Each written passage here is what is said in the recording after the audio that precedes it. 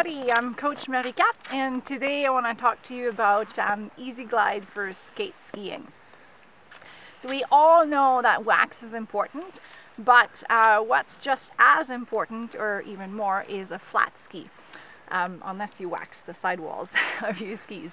So to keep a flat ski, what I need to do is take the center of my hip and put it right on top of my ski.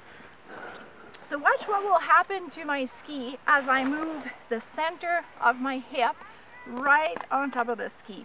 That keeps my ski nice and flat. As I move away from the center, my ski falls onto its edge. So as you ski down the track, what we should see is your pelvis move from side to side so the center of your hip is always right on top of your ski.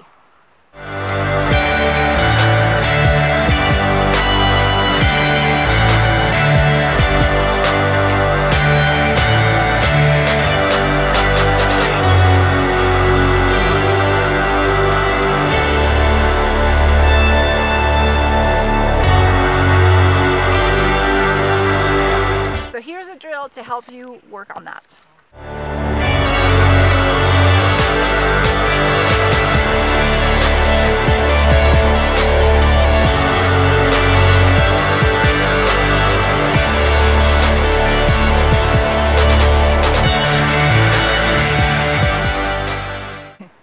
So what that drill does is it forces you to be centered on top of your ski.